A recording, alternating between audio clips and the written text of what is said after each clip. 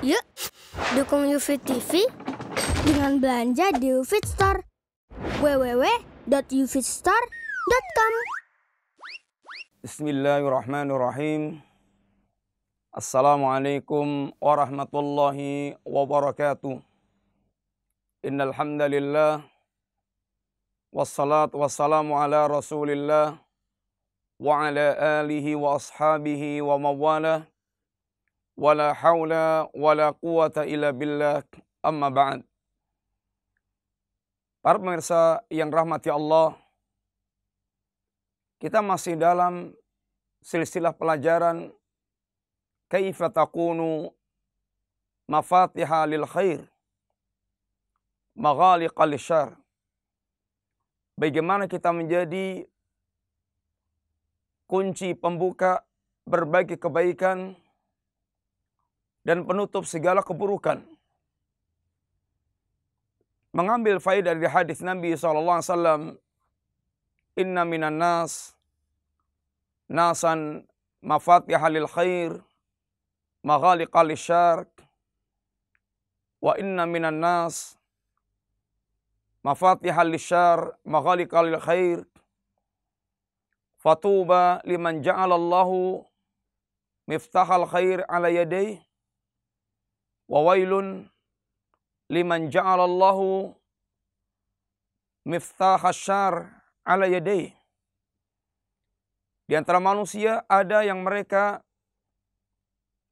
menjadi pembuka pintu kebaikan dan penutup pintu keburukan. Tapi ada juga manusia di antara mereka membuka pintu keburukan, menutup pintu kebaikan, Berbahagialah bagi orang yang Allah jadikan sebagai pembuka pintu kebaikan dan celakalah orang Allah jadikan sebagai pintu pembuka sebagai pembuka pintu keburukan. Para pemirsa, kita telah sampaikan yang pertama seandainya Anda ingin menjadi pembuka pintu-pintu kebaikan. Yang pertama adalah Anda iltija, kita semuanya iltija. Kita semuanya bersandar kepada Allah Subhanahu wa taala. Karena Allah Al-Fattah wa biyadil khair. Allah adalah Al-Fattah sang pembuka dan segala kebaikan di tangan Allah Subhanahu wa taala. Sehingga tidak akan terbuka untuk kita dan untuk orang lain berbagai macam kebaikan-kebaikan apabila kita tidak iltija, kita tidak bersandar atau apabila Allah tidak membukakan untuk kita dan orang lain berbagai macam kebaikan-kebaikan tersebut. Maka kunci pertama untuk menjadi miftahal khair adalah senantiasa bersandar kepada Allah agar Allah membukakan pintu-pintu kebaikan. Yang kedua, apabila Anda ingin menjadi pembuka pintu kebaikan untuk diri kita sendiri dan untuk orang lain, maka wujudkanlah at-tauhid dan ikhlasuddin lillah. Wujudkan tauhid dan pengikhlasan agama, pemurnian agama, pemurnian seluruh amal-amal yang kita lakukan senantiasa hanya murni untuk Allah Subhanahu wa taala. Rasulullah sallallahu alaihi wasallam tegaskan bahwa miftahul jannah syahadatu an la ilaha illallah Kunci surga adalah syahadat la ilaha illallah. Sehingga pertama kali amalia yang harus kita wujudkan untuk terbukanya segala kebaikan yang akan mengantarkan ke surga adalah mewujudkan tauhid. Karena tauhid melaluinya akan terbuka segala pintu kebaikan. Dan tanpa tauhid akan tertutup segala pintu kebaikan. Kebaikan, segala kebaikan tidak akan bermanfaat tanpa tauhid. Sehingga tauhid menentukan segala kebaikan-kebaikan yang akan dilakukan oleh seorang hamba. Para pemirsa, di antara yang Nabi katakan pula Ma min abdin yashhadu an la ma min abdin yatawadda'u fayusbihul wudu'a thumma yaqul Ashhadu an la ilaha illallah wa anna Muhammadan abduhu wa rasuluh. Futihat lahu abwabul jannah ats-tsamaniyah fayadkhulu fi ayyi hima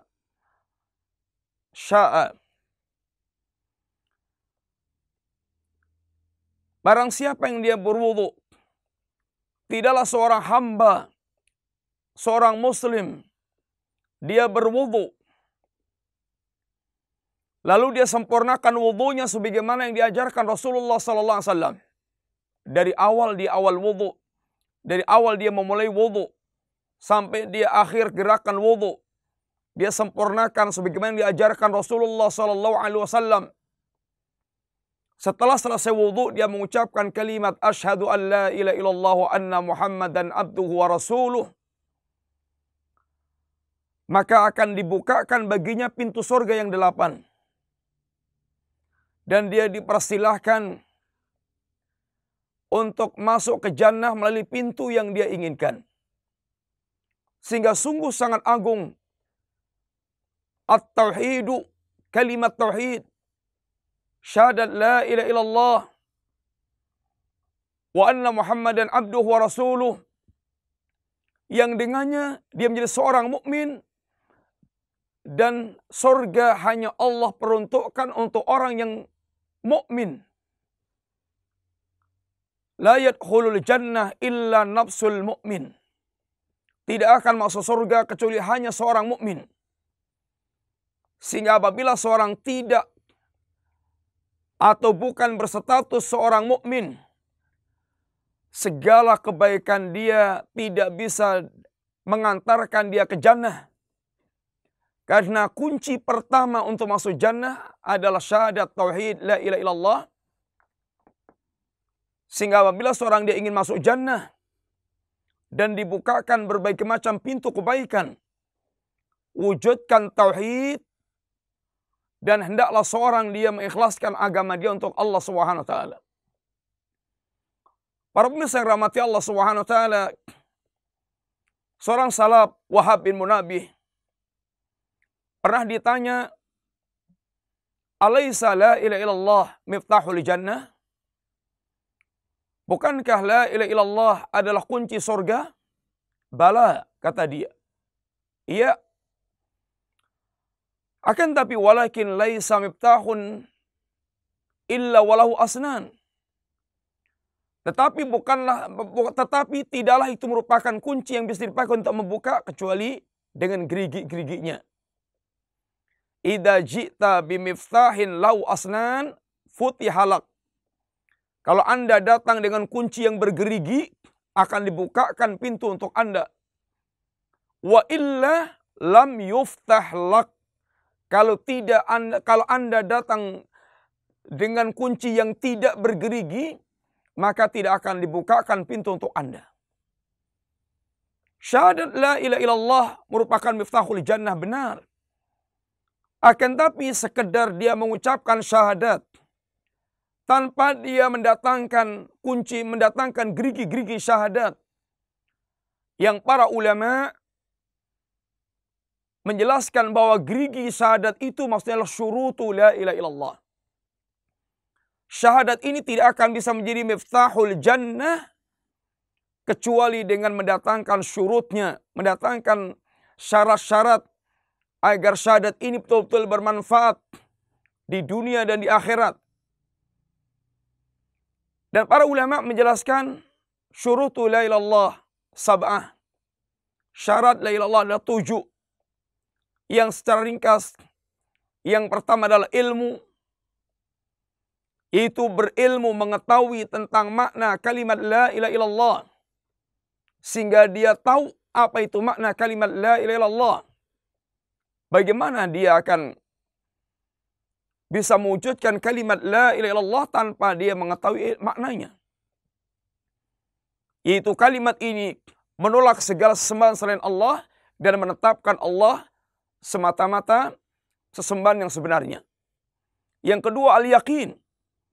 Tidak ada keraguan dalam hatinya berkaitan dengan kandungan kalimat la ilaha illallah. Barang siapa yang dia ragu akan kandungan kalimat la ilaha illallah, maka syahadat dia gugur. Yang ketiga, asidku dia jujur dalam mengucapkannya. Dia bukan ucapan yang dusta. Dia ucapan yang jujur dari hatinya. Barang siapa yang tidak jujur, tidak akan diterima kalimat la illallah. Yang keempat, dia harus ikhlas. Dia murnikan ucapan kalimat tersebut. Sehingga tidak membatalkan ucapan kalimat la ilaha illallah dengan praktek-praktek kesyirikan. Sehingga dia betul-betul ikhlas mengucapkan kalimat tersebut. Dengan memurnikan, mewujudkan kemurnian, ubudiyah, penghambaan. Dan tidak menyekutukan Allah SWT. Yang kelima, yaitu al-mahabbah. Dia mencintai kalimat tersebut. Sehingga dia mencintai kandungannya, mencintai amaliyahnya, mencintai pelakunya. Sekaligus membenci orang-orang mereka membencinya. Yang keenam, al-qabul. Dia menerima totalitas tentang kalimat dan kandungannya tersebut. Yang ketujuh, al-inqiyad. Dia menunaikan apa yang menjadi tuntutan kandungan kalimat tersebut tidak menolak. Dia tidak membangkang. Dia tunaikan apabila seorang hanya mengucapkan kalimat la ilaha illallah akan tapi dia tidak mewujudkan syurutnya tersebut maka tidak akan menjadi miftahul jannah. Tidak akan menjadi kunci yang bisa membukakan surga. Contoh paling konkret adalah orang-orang munafik yang dia mengucapkan kalimat la ilaha illallah Muhammad Rasulullah akan tapi ucapannya la yang fa karena orang munafik yaquluna bi afwahihim ma laisa fi qulubihim hanya mengucapkan dengan lisannya sesuatu yang tidak ada dalam hatinya sehingga dia mengucapkan tanpa membawa syurut dia datang dengan kalimat la ilaha illallah tapi tanpa gerigi maka tidak bisa menjadikan dia masuk jannah dan tauhid dan ikhlasul amal betul-betul akan menjadi pembuka pintu kebaikan. Sebab apabila seorang hamba dia semakin sempurna tauhidnya, artinya semakin dia mewujudkan kesempurnaan ubudiyahnya, penghambaannya kepada Allah Subhanahu taala, semakin besar rasa pengagungannya kepada Allah dan apabila seorang hamba semakin besar pengagungannya kepada Allah, kebaikan-kebaikan akan dia tunaikan lebih banyak, lebih banyak, lebih banyak menuju pada sempurnaan penghambaan. Maka tauhid adalah kunci pertama untuk terbukanya berbagai macam kebaikan dunia dan akhirat. Dan demikian pula jannah yang akan Allah sediakan untuk kita. Maka apabila Anda ingin membuka kebaikan untuk diri kita dan orang lain, yang pertama kali ajarkan, ditanamkan di hatinya adalah mewujudkan tauhidullah dan ikhlasul amal. Mengikhlaskan, mengikhlaskan amal untuk Allah. Orang yang mereka mengamalkan, orang mereka mengikhlaskan amaliyahnya untuk Allah, akan kebaikan dibukakan, dibukakan, dibukakan oleh Allah. Al jaza min jinsil amal. Balasan sesuai dengan kadar amalan dia. Dan kebaikan yang dilakukan dengan ikhlas akan Allah bukakan kebaikan berikutnya. Hal jazaul ihsan ilal ihsan. Sehingga terus demikian Allah akan bukakan kebaikan yang banyak. Berawal dari jiwa yang mengagungkan Allah. Karena, tumbuh karena dia mentauhidkan Allah SWT. Maka at-tauhidu wal ikhlasul amal merupakan kunci pembuka kebaikan. Hendaklah apabila kita mengendaki diri kita menjadi pembuka kebaikan, baik itu membuka untuk kebaikan diri kita sendiri atau orang lain, yang pertama kali hendaknya kita lakukan pula yaitu mewujudkan la ilaha illallah, kalimat tauhid, mewujudkan sikap hidup bertauhid dan mengikhlaskan amal semata-mata karena Allah Subhanahu wa taala. Semoga bermanfaat. Insyaallah kita sambung pada pembahasan berikutnya. Ala nabiyyina Muhammadin wa ala alihi wa sahbihi wasallam. Assalamualaikum warahmatullahi wabarakatuh.